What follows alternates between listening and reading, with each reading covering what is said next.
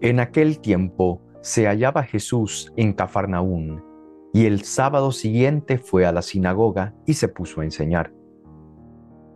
Los oyentes quedaron asombrados de sus palabras, pues enseñaba como quien tiene autoridad y no como los escribas.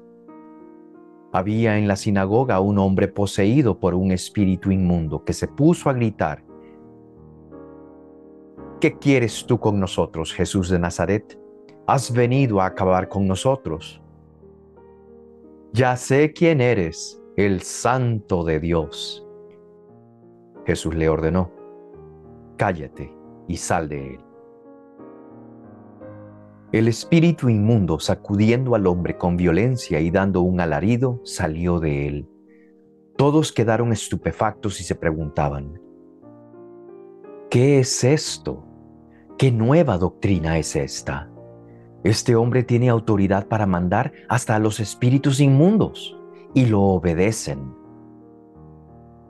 Y muy pronto se extendió su fama por toda Galilea. Bienvenidos a este estudio bíblico. En esta ocasión tenemos al Evangelio de San Marcos, que es el que nos acompaña en este año litúrgico. Capítulo 1 todavía. Fíjese que estamos todavía comenzando todo el, recorrido de Jesús. Marcos tiene una manera de ir contando las cosas una tras otra. Jesús tiene ciertos discursos en Marcos, pero tiene más acciones. Se va a fijar que Marcos le pone más acciones a Jesús que discursos. En esta ocasión nos dice que está en la sinagoga, capítulo 1, versículo 21 al 28. Nos dice que él fue a la sinagoga, pero no nos dijo que predicó. Nos dijo que estaba explicando la escritura, pero no, no nos da los detalles de la predicación de Jesús. Nos da detalles de los efectos de Jesús. Y entonces nos va a decir que hay un oyente en esa, en, esa sinagoga. Un oyente que se deja tocar por la autoridad de Jesús y la reconoce. Los oyentes quedaron asombrados, dice el texto, y hay uno en especial que luego sale. Quedaron asombrados porque las palabras de Jesús enseñaba como quien tiene autoridad, no como los escribas. Los pobres escribas, por supuesto, no hay que quitarles el amor que tienen por la palabra de Dios, pero la formación de ellos es simplemente eh, un recordarla, memorizarla, recitarla y compartirla para que otro la memorice, también la reflexione. Pero ellos no tienen como una meditación para compartir que los haga crecer en esa palabra. Así que los escribas son buenos con la palabra, son guardianes de la palabra, comparten la palabra, pero tal cual es. Ahora, Jesús, dice el texto, tiene una autoridad. Autoridad viene de augere, que significa alimentar. La persona que tiene autoridad alimenta con lo que habla. Sus palabras nos llenan el corazón y el alma y nos dejan con un reto en el corazón tanto que hasta un demonio que queda impactado por las palabras de Jesús. La autoridad eh, descrita, que es la autoridad de Jesús, no es una manipulación. La autoridad no es un imponerse, porque a veces nosotros escuchamos esas cosas. Que la persona que tiene autoridad entonces es capaz de manipular a otros, así es como comienzan los abusos comienza entonces a mangonear a todas las personas.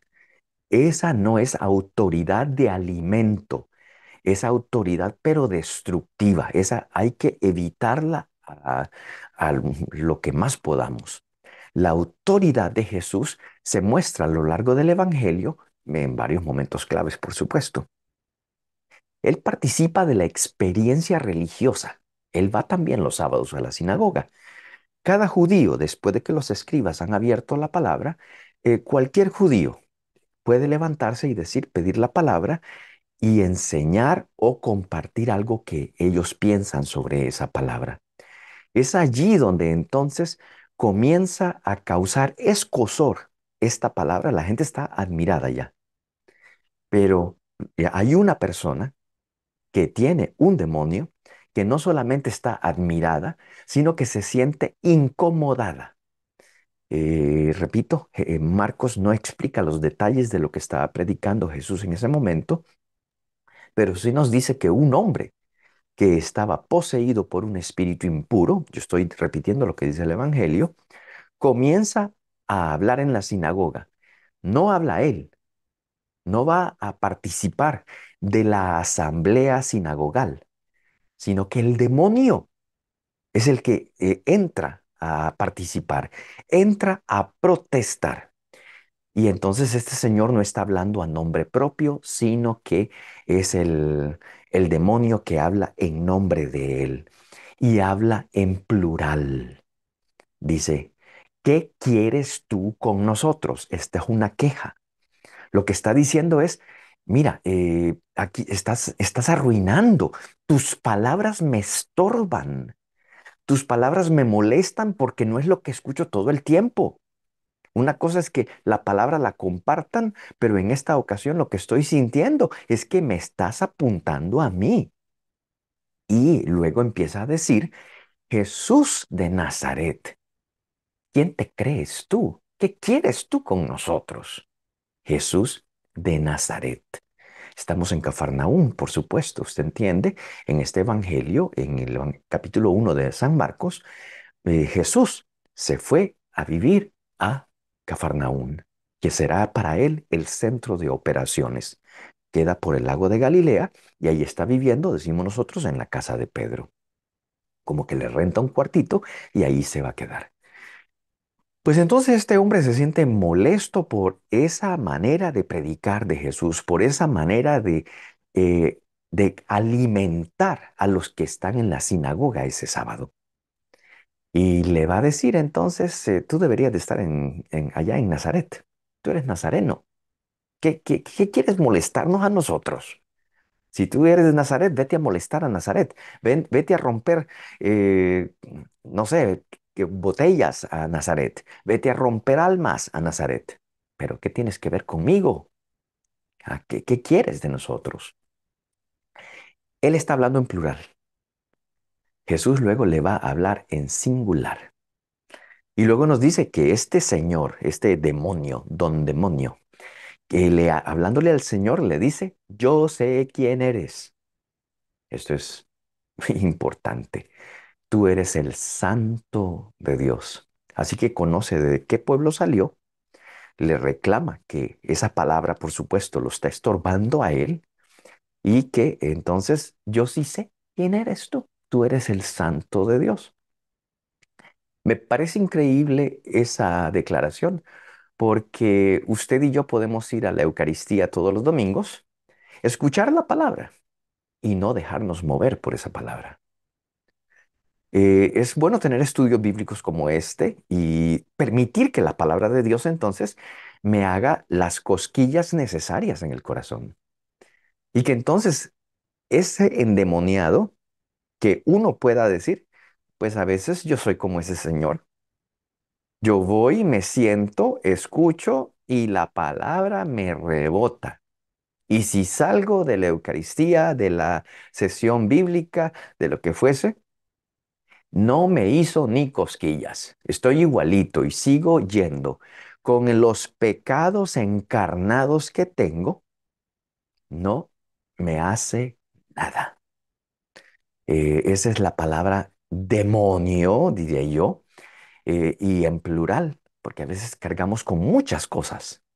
Andamos cargados el corazón de tristezas, de pecados, de odios, de rencillas, de envidias, y ahí permanecen. Y la palabra que quiere escarbar, no la dejamos.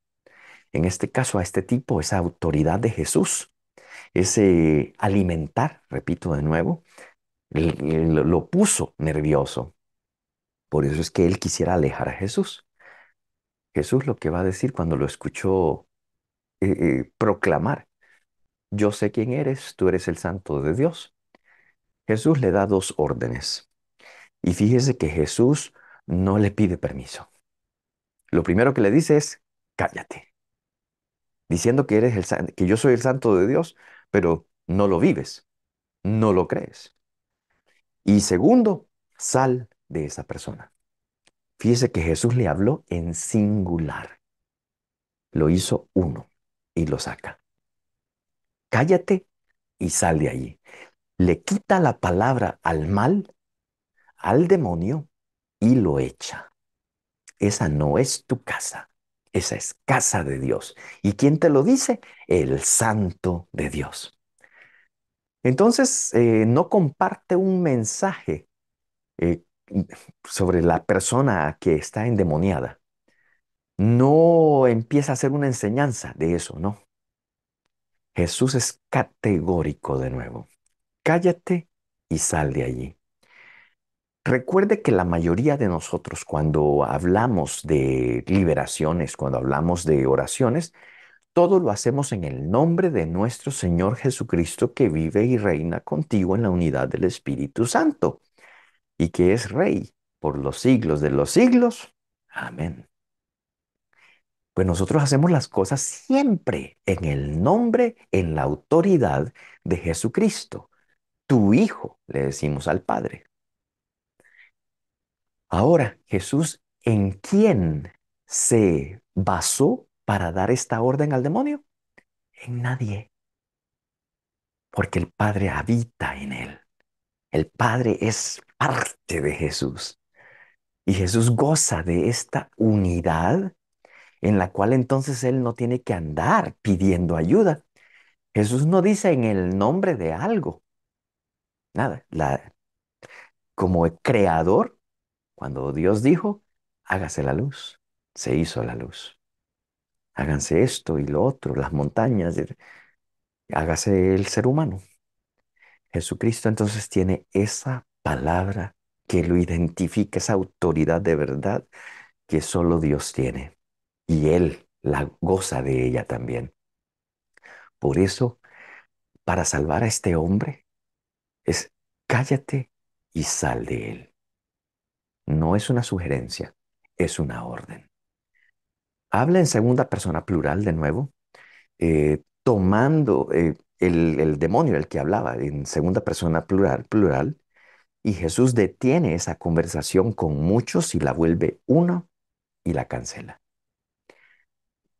Ahora entonces, Jesús fue el que terminó al final de cuentas dando las órdenes, o el demonio, y se tiene que ir y se fue, dando un alarido, dice el texto en, en la traducción que tenemos.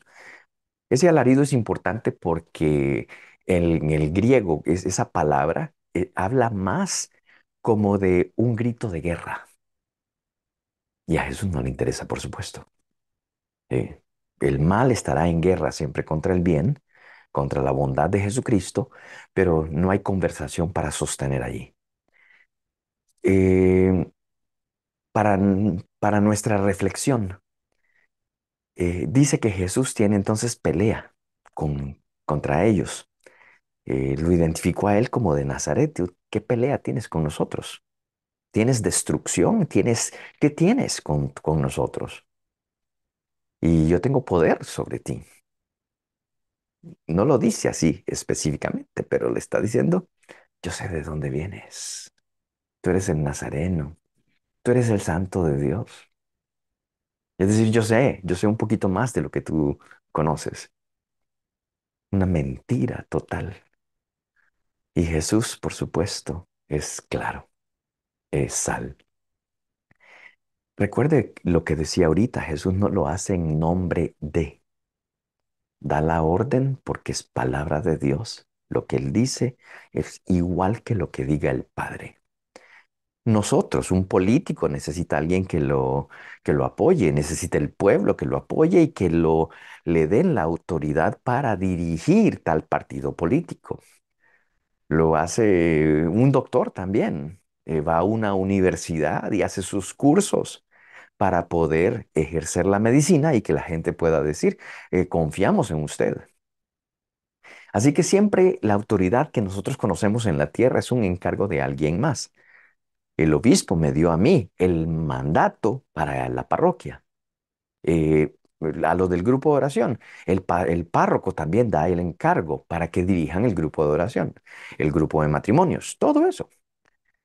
Jesús nos enseña esa autoridad por esa eh, vida espiritual aterrizada, pero con la mano en el cielo, con el corazón en el cielo, Dios habitando en su corazón, Dios siendo uno con él.